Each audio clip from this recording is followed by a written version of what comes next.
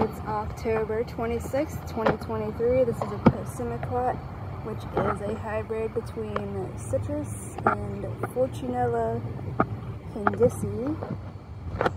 And it forms tiny little orange-like fruits, like if the camera will focus.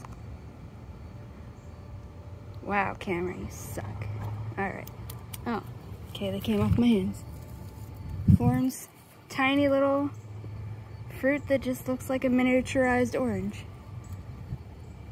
You can see on the thing. So, wow, this camera doesn't want to focus. There's unripe ones, they just look like unripe oranges because that's pretty much what they are. And this has, funnily enough, everything else shrunk down, but the thorns are the same size as on normal citrus trees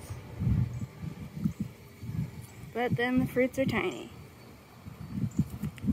The leaves are very oval shaped without any serrations. So it's just very interesting. It's called the Procimequat. And that's it for this video. Bye-bye.